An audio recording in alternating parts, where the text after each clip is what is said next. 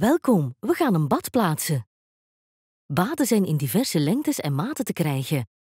Bepaal voordat je aan de klus begint het formaat en het materiaal van het bad. Om een bad te plaatsen heb je het volgende nodig.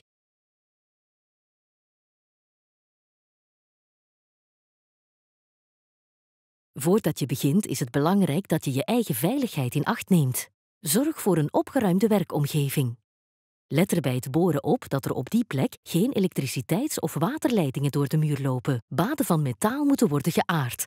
Om alle gevaren uit te sluiten, adviseren we om dit door een elektricien te laten doen. Stap 1. Voorbereiding.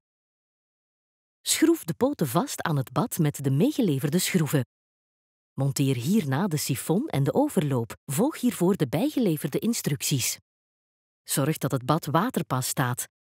Corrigeer dit eventueel met de verstelbare poten. Meet nu de hoogte van de onderkant van de rand tot aan de vloer. Markeer dit op de muur met een potlood. Verwijder het bad en zet de markering uit op de wand. Teken met een waterpas de lijn uit over de wanden waar het bad komt te staan. Zaag twee balken op de lengte en de breedte van het bad min 10 cm.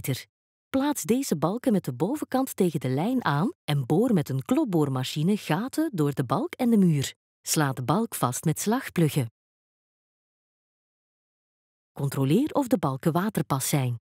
De achtermontage van het bad is nu klaar. Stap 2. Badomkasting bouwen. We gaan een badomkasting maken met behulp van cellenbeton. Je kan dit ook doen door een houten frame te gebruiken. Voor uitgebreide informatie over het bouwen van een houten frame klik je hier. Voordat je de betonblokken gaat plaatsen, sluit je de sifon op de afvoer aan. De afvoerleidingen worden geplaatst met een helling, anders loopt het water niet of moeilijk weg. Check of de afvoer en de sifon correct zijn aangesloten door het bad vol te laten lopen. Zijn er lekken? Los dit dan eerst op voordat je verder gaat. Meer informatie over het aansluiten van een sifon vind je hier. Zet de waterpas rechtop vanaf de vloer tegen de rand van het bad. Plaats hierachter onder de badrand een betonblok en trek hier de tegeldikte en 2 mm voor de lijnlaag voor de tegel vanaf. Teken aan de onderzijde op de vloer af. Je weet nu de positie van het cellenbetonblok. Mocht het zo zijn dat het betonblok te dik is om geheel onder de badrand te plaatsen, zaag dan een deel schuin af. Het betonnen frame moet wat hoger worden dan de balken op de muren. De rand van het bad komt namelijk over de blokken heen te liggen. Meet het benodigde verschil in hoogte goed op. Lijm de blokken vast op de grond. Behoud nu eventueel ook een uitsparing voor een luik of rooster. De betonblokken zaag je op maat met een cellenbetonzaag. Plaats nu het bad. Controleer of het water pas ligt en corrigeer eventueel.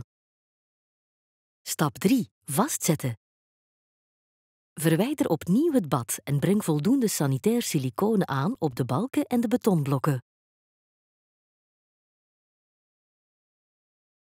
Plaats het bad en controleer of alles nog waterpas ligt. Zet de sifon vast en bevestig deze aan de afvoer. Gebruik hiervoor het serviceluik of rooster. Laat het bad half vol lopen met water en laat dit een dag staan. Het bad kan zich op deze manier nu gaan zetten. Daarna kun je siliconen aanbrengen op de aansluitingen. Voor uitgebreide informatie over het aanbrengen van sanitair siliconen klik je hier. Het bad zit erin. Nu kun je gaan tegelen. Voor uitgebreide informatie over wandtegels plakken klik je hier. Succes met je klus! Nog even dit.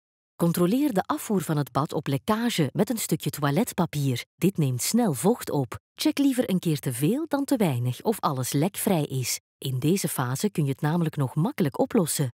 Zorg dat je er zeker van bent dat het bad waterpas staat. Als dit net niet het geval is, kan het namelijk zijn dat water slecht wegloopt.